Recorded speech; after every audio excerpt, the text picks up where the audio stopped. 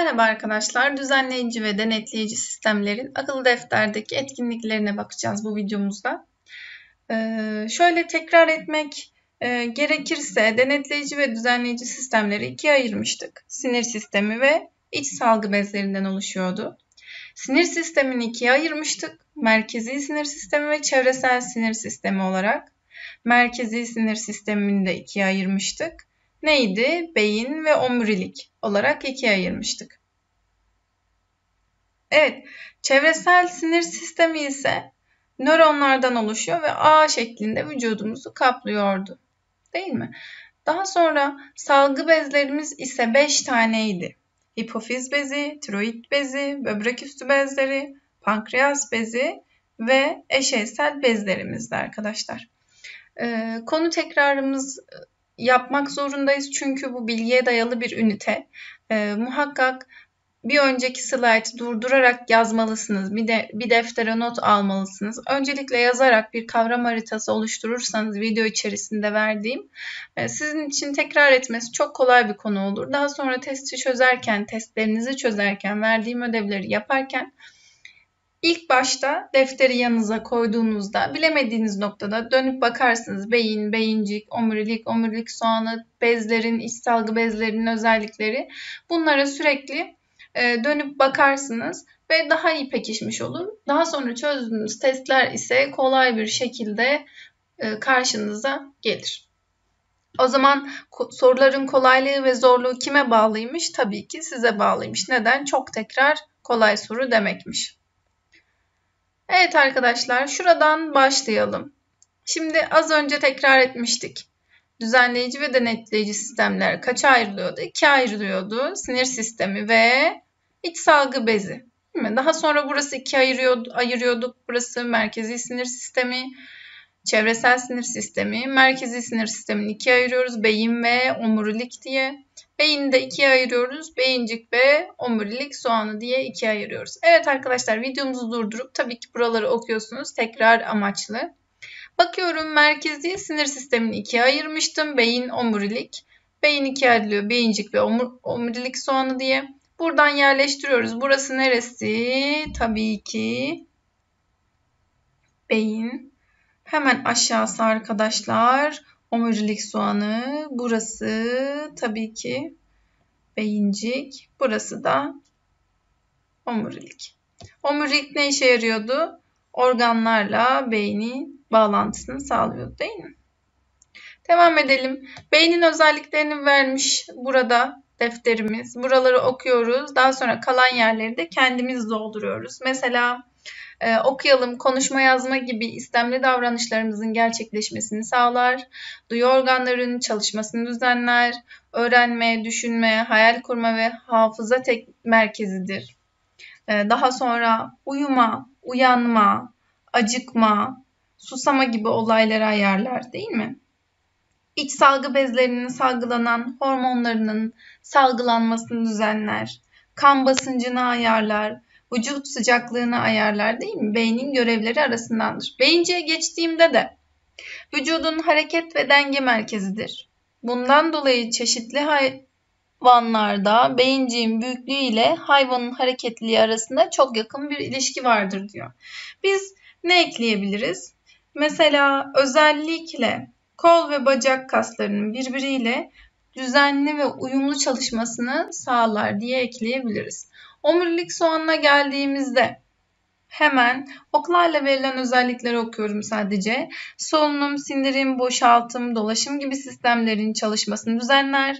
İkinci özelliğim olarak ben ne ekliyorum? Soluk alıp verme, hapşırma, öksürme, yutkunma, çiğneme gibi istemsiz yapılan davranışları kontrol eder diye ekleyebilirim. Şimdi buraları açalım. Belki durdurup yazarsınız ki yazmalısınız. Bu şekilde açtık. Ben geçiyorum diğer sayfaya. Etkinlik 1. Şimdi az önce bakmıştık. Burası neydi? Tabii ki omurilik soğanıydı. Bakın arkadaşlar sarı renk düz. Sakın omurilikle karıştırmayalım. Omurilik nereden başlıyor? Buradan başlıyor. Evet. Burası ne? Beynimizin hemen altında. O zaman buranın beyin olduğunu söyledik. Beynimizin hemen altında ne var? Beyincik var. Evet soruya geliyorum. Doktor Örkü Hanım hastasının yakınları ile yukarıdaki bilgiyi paylaşıyor. Bu paylaşımı dinleyen Berat hastalarının durumlarından hangilerinin yapamayacağını düşünmesi doğru olur. Öykü Hanım'ın paylaştığı bilgiye bakalım hemen. Hastamızın bugün itibariyle bitkisel hayata girdiğini üzülerek iletiyorum sizlere. Şu an için bilinci kapalı ve bakıma muhtaç durumda. İyi bir bakımla düzelme imkanı var. O zaman neler yapamayacak e, bu hastamız? Bakalım, okuyalım. Konuşamayacağını, evet, bilinci yerinde değilse konuşamayacaktır. Öğrenme faaliyetlerinin gerçekleşmeyeceğini, evet, bir kere bir uyku, derin bir uykuda yani bilinci kapalı, bu da olabilir. Nefes alıp veremeyeceğini, hayır, bitkisel hayata girmiş yani halen nefes alıp veriyor, hayatı bitmemiş konuşulanları duyamayacağını, böyle bir şey olabilir mi? Duyuyor. Ee, tabii ki duyabilir. Sadece bilinci kapalı değil mi? Bunu filmlerden de biliyoruz değil mi arkadaşlar? Bir sahne oluyor. Daha sonra diyor ki içeriye girip konuşabilirsiniz. Size duyu, sizi duyabiliyor diyor değil mi? Filmlerden de bunu çıkartabiliriz aslında. Akciğerlerin çalışmayacağını. Hayır akciğerleri çalışır e, sadece bilinci kapalı, bakıma muhtaç. Yani organlarının faaliyetleri devam ediyor. Vücudundaki kan dolaşımı tamamen duracağını, tabii ki bu da olamaz. Kan dolaşımı durursa e, dolaşım sisteminden hatırlayalım. Kirli kan, e, temiz kan ayrımı yapılamaz değil mi? Hayati fonksiyonları da son bulur. O zaman ben kaç numaralı öncülleri alıyorum? 1, 2 ve 5. Şöyle açalım. Pardon 5 dedim ama 4 konuşmuştuk şurada. Konuşulanları duyacak ama akciğerleri çalışacak.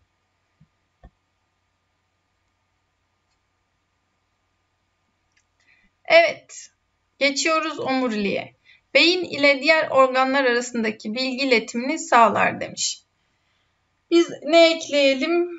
Ee, omurilik refleks davranışlarını kontrol ederdi değil mi? Refleks davranışlarını. Peki kaç çeşit refleks davranışım vardı? İki çeşit refleks davranışım vardı. Bunlardan birisi doğuştan geliyor, diğeri ise sonradan kazanılıyordu. Şimdi doğuştan gelen reflekslere bir örnek verelim.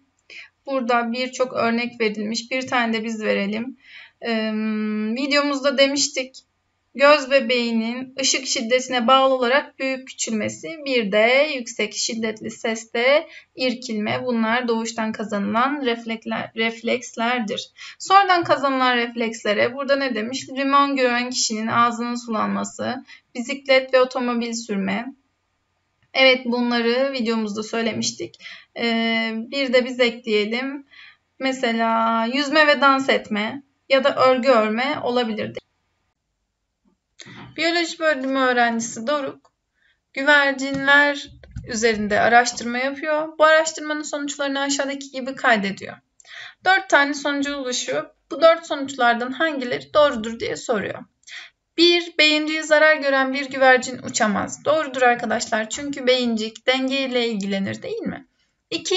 Omurilik soğanı zarar gören bir güvercin tüm reflekslerini yerine getiremez diyor. Refleksle ilgilenen kimdi? Omurilikti değil mi? Ondan dolayı bu doğru cevap kabul edilemez. Omurilik soğanı ne yapıyordu? İstemsiz çalışan e, kaslarımızı, organlarımızı e, görevlerinin yerine getirmesini sağlıyordu, düzenliyordu değil mi? 3. Omuriliği zarar gören bir güvercin kanat çırpmada zorlanır. Doğru. Beyni zarar gören güvercin duyu faaliyetlerinin yerini getirmeye devam eder demiş. Yanlış. Ee, beynin görevlerinden birisi duygular ve duyulardı değil mi arkadaşlar? Bundan dolayı cevabımız 1 ve 3. Etkinlik 2'ye baktığımız zaman A'dan başlıyoruz. Hangi numaralı yapı solunum, dolaşım, boşaltım, sindirim gibi hayatsal faaliyetleri kontrol eder diye sormuş. Tabii ki omurilik soğanıydı değil mi? Yani 3 numaralı kısım. B'de ise hangi numaralı yapı öğrenme, hayal kurma, düşünme gibi davranışları gerçekleştirir? Ee, tabii ki bir beyin değil mi arkadaşlar? Hem duyguları hem de duyu organlarını idare ediyordu. 3'e baktığımda hangi numaralı yapı kulaktaki yarım daire kanalları ile birlikte uyumlu şekilde çalışarak vücut dengesini sağlar? Denge dediğimizde aklımıza kim gelmesi gerekiyordu? Beyincik gelmesi gerekiyordu. Yani 2 numaralı e, vatandaş olacak. D'ye baktığımızda hangi numaralı yapı vücut sıcaklığını ve kan basıncını düzenler diye sormuş. Tabii ki beyin düzenliyordu. Beynin görevlerinden bir tanesiydi. E'ye baktığımızda hangi numaralı yapı iskelet kaslarına ait refleksleri kontrol eder diyor. Ee, tabii ki bu omurilikti değil mi arkadaşlar? F'ye baktığımızda hangi numaralı yapı uyku ve uyanıklık gibi olayları düzenler diyor. Bu da tabii ki beynin görevlerinden idi. Etkinlik 3'e baktığımızda A'dan N'ye kadar belirli olaylar verilmiş ve beyin, beyincik, omurilik ve omurilik soğanın görevlerini e, düşünüp buna göre bunları ayırt etmemiz istenmiş arkadaşlar. Olaylara baştan bakalım. Acıkma ve susama kimin kontrolü altında? Beynin. Midenin sindirimi kimin kontrolü altında? Omurilik soğanın. Göz bebeğin ışık etkisiyle büyümesi, beynin. Hapşırma ve öksürme Kimin kontrolü altında? Bu da omurilik soğanının altında. Görevinin altında yani. Uyuma ve uyanma. Bu da beynin. Ee, bir bilgiyi öğrenme. Beyin kontrolü altında. Limon görünce ağzın sulanması. Reflekslerle kim ilgileniyordu? Tabii ki omurilik. Bu omuriliğin görevi arkadaşlar. Omurilik kontrolü altında. İp üstünde dengeyi sağlama tabii ki beyincik diyoruz hemen. Yeni doğan bebeğin emme hareketi bu da bir refleks harekettir. Bu da omuriliğin görevlerinden. Yutma ve çiğneme kimin görevlerindendi? Bu da omurilik soğanının görevinden. Örgü örme bu da bir refleks hareketi. E, omurilik diyeceğiz. Hayal kurma ise arkadaşlar beynin görevlerindendir. Şöyle açtığımızda yerleştirebilirsiniz. Etkinlik 4'e geldiğimizde bu kez de sonradan kazanılan refleksler ve doğuştan kazanılan refleksler diye ikiye ayrılmış. 8 tane öncül var arkadaşlar. Birincisi terzinin rahatlıkla örgü örmesi. Bu sonradan kazanılan.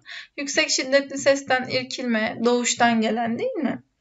Ee, daha sonra limon görünce ağzın sulanması sonradan kazanılan. Çünkü limonu hiçbir çocuk bilemez. Değil mi? Tadını öğrenmesi lazım baştan. Böyle videolar falan var. Bebeklere limon tattırıp yüzünün ekşidiğini falan görüyoruz ya oradan aklınıza gelsin. Yeni doğan bebeğin emme hareketi doğuştan. Diz kapağına vurulunca bacağın öne doğru hareket etmesi doğuştan. İğne batana elin hızla geri çekilmesi canımız acıyor doğuştan. Ee, küçücük bebeğe batırsan o da kaçar, büyük insan da kaçar değil mi? Ee, göz bebeğin ışık etkisinde büyüyüp küçülmesi bu da doğuştan bir refleks hareketi. Bisiklet sürme ise sonradan öğrenilen refleksik refleks hareketlerindendir. Şöyle gösteriyoruz.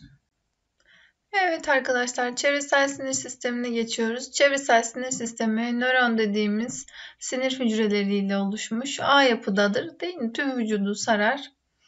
Ee, şimdi şuradaki refleks oluşum sistemine bakacak olursak parmağımız tencereye değiyor sıcak bir tencere. Burada duyu hücreleri uyarıyı alıyor. Daha sonra uyarı sinir hücreleri aracılığıyla uyartı mesajı şeklinde merkezi sinir sistemine iletiliyor. Daha sonra mesaj merkezi sinir sisteminin ilgili yapısına değerlendirilip cevap oluşturuluyor. Daha sonra refleksi kim kontrol ediyordu arkadaşlar? Refleksleri omurilik kontrol ediyordu değil mi? Daha sonra bir acı duygusu hissedecek. Kim hissediyordu duyguları? Omurilikten beyne gidiyordu değil mi? Daha sonra oluşturulan cevap alınır, hücreleriyle gerekli yapıya iletilir ve tepki gösterilir diyor.